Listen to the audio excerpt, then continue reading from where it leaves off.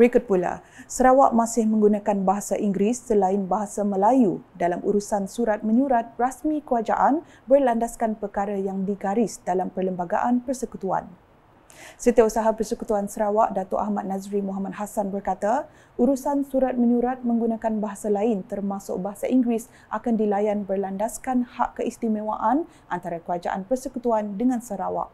Kita kita terima surat ditulis dalam uh, bahasa sama ada bahasa Melayu ataupun dalam bahasa Inggeris dan sekiranya dihantar dalam bahasa lain pun kita akan cuba untuk layan dan uh, dapatkan terjemahan yang sesuai sebab uh, kita perlu faham tentang hak dan keistimewaan antara persekutuan dan Sarawak.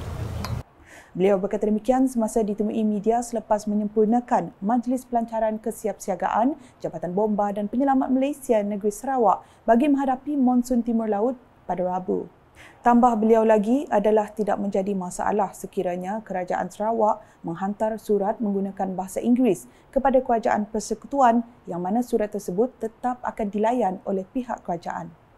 Mengulas mengenai kesiapsiagaan Jabatan Bomba dan Penyelamat Malaysia Negeri Sarawak dalam menghadapi ancaman musim monsun, Datuk Ahmad Nazri memberitahu pihak bomba sememangnya telah bersedia dalam menghadapi musibah-musibah seperti banjir, tanah runtuh dan putusnya jalan pengangkutan sekiranya berlaku semasa monsun timur laut berlaku.